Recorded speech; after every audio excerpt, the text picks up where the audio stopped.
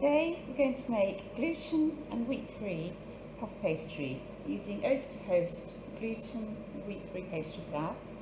The other ingredients that you'll need is some water, some salt, some butter, um, the utensils, scales, um, a metal bowl, greaseproof paper, knife, spoon, um, a rolling pin and a measuring jug.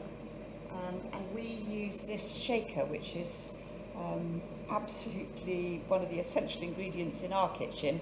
Uh, it's filled with potato flour but you can use corn flour and the reason why we prefer this is because it's less gritty than other gluten and wheat free flours. Right, so let's get going. I've weighed out my pastry mix, uh, my pastry flour, into a bowl 195 grams to which I'm going to add 117 grams of water. The water straight from the tap, um, not from the hot tap and it doesn't need to be chilled water or anything special like that. 117 and a pinch of salt we have this handy little spoon which measures which measures one pinch which I believe is, is one gram. If you want but a good pinch between the fingers as well. You use a ready um, a, a, salted we use a salted butter when um, when folding in to make the layers. So you will have an element of, of, of salt in there find best. With a spoon, mix the, the water and the salt and the flour together to make a dough. I use the metal bowl because it's much better conductor of, um, for the cold and you want to get keep keep the, the pastry relatively cold. You can mix this in the mixer but it's as easy just to do it by hand. So mix it together until all the um, flour is mixed, absorbed into the dough.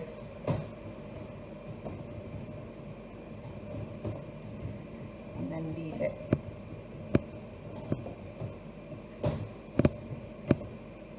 put it in the fridge to chill while you flatten your pastry, uh, your butter between two pieces of um, greaseproof paper.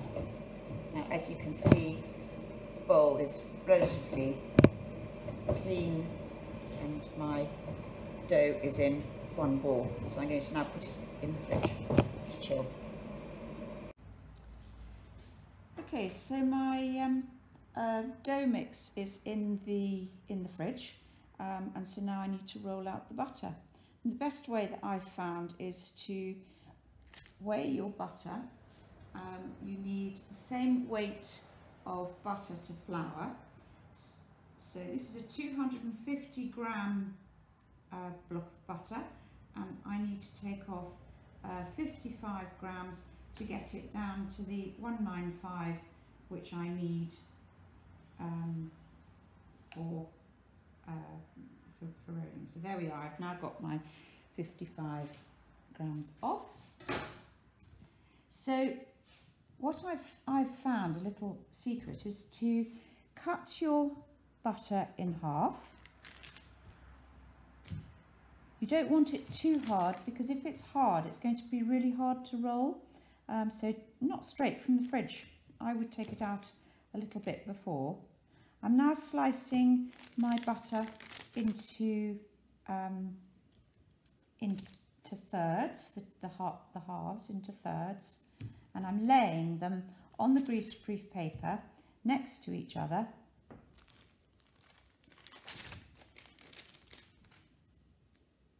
ready to roll.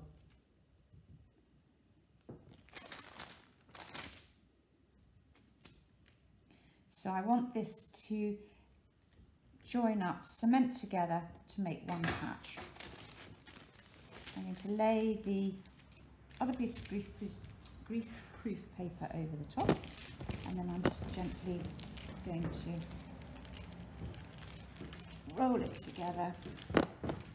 And this will be um, the block that I'm then going to fold into my pastry to start making the layers for the, um, to get the puff.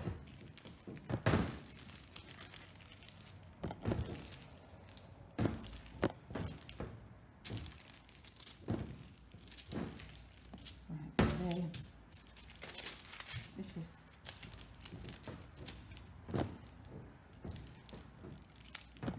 you can see it's um, forming into a, thinner version of what it was before. And I wish I could do. It's my similar to a triangle shape. It having, um, if you've got it slightly sort of folded on one um, out of sync on one side, you really sort of want a, a rectangle if you can. Um, but uh, that, as long as it's all joined together, then um, it's going to make it much easier for when you do your folding in. I have my pastry ball which I've got out of the fridge. So now I'm going to just put some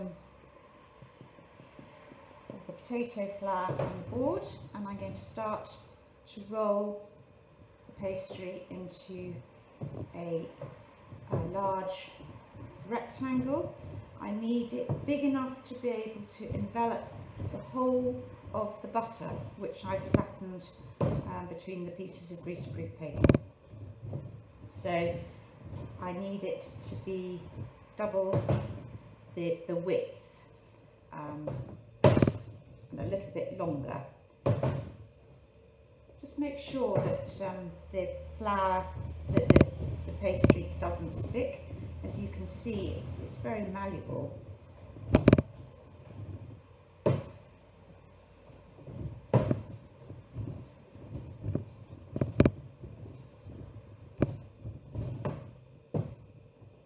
Just with your eye, just keep, keep an eye on it. I think I've got it to the right height and now I just need to work on the length. But I don't want it um, to stick to the table because that might be really frustrating. And keep it as neat as you can into the into triangle. Put your bread, your butter over the top, just to see how you're getting on. Just need it just a little bit wider.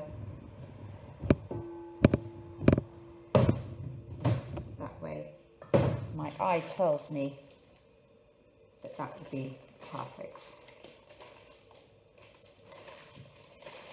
Tip your butter on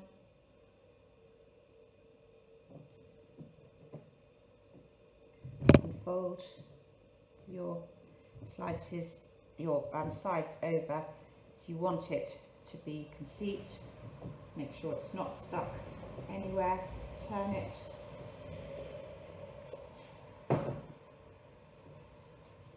Fold down top and fold up the bottom so that you make it into a, a sealed parcel enveloping your, your butter inside and then start to roll it flat. Now you're going to start to put the, the layers and the air into your pastry. As you can see, I've now sealed it. Make two indentations and fold your top over to the middle, your bottom up over, bottom layer up over. With the rolling pin, seal down the sides and turn it. This is trapping the air into your into your pastry and then roll it again into a give, give it a quarter turn and roll it again into a into a rectangle. Two indentations, top and bottom. Hold up. Your rolling pin, seal it and give it a quarter turn. see now I'm starting to get the layers on. Do this three times.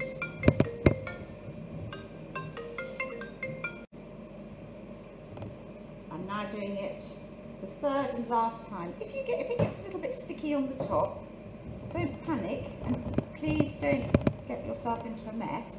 Just um, just put a little bit of dusting of the of the flour and roll it into your into your rectangle.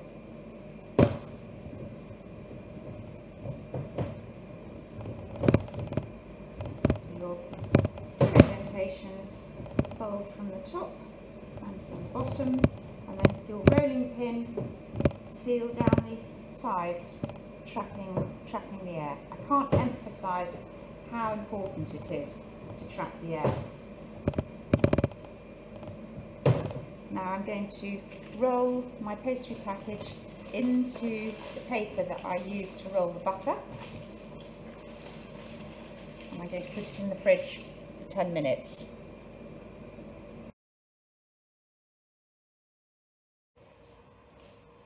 It's now been 10 minutes.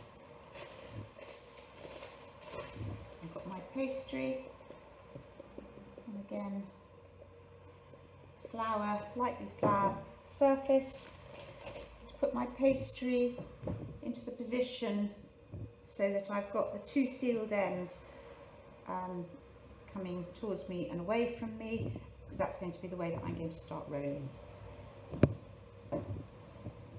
Roll strip. You don't want to get this too, too chilled because then it's harder to roll you'll, get more splits. Roll it into a nice rectangle, two indentations, fold over and over, and then your two sides. Trapping in the air. And turn it quarter turn, you start rolling, rolling again. Nice long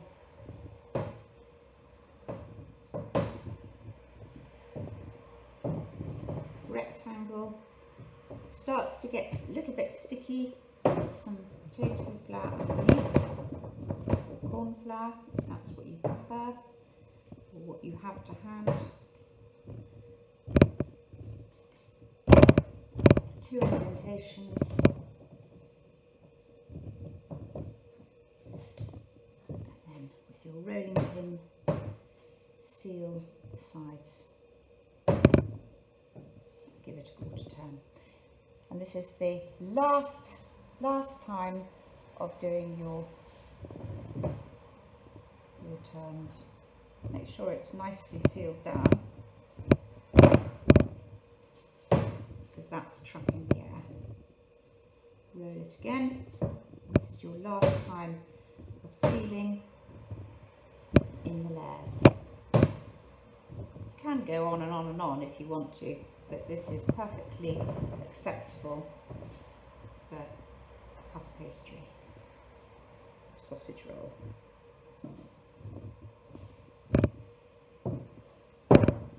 So there I have it that is now going to go in the fridge and the next time I see it will be when I make it into my recipe.